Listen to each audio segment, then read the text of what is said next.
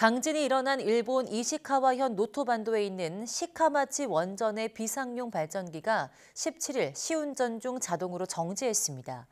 호쿠리쿠 전력은 지난 16일 노토반도에서 규모 4.8의 여진으로 노토반도 서부의 시카마치에 있는 시카 원전 1호기 원자로의 비상용 디젤 발전기 3대를 시운전했습니다.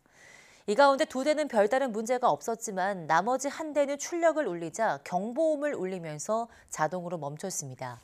정확한 원인은 아직 밝혀지지 않았지만 호쿠리쿠 전력 측은 직원 실수로 발생했을 가능성은 적다는 입장을 밝혔습니다.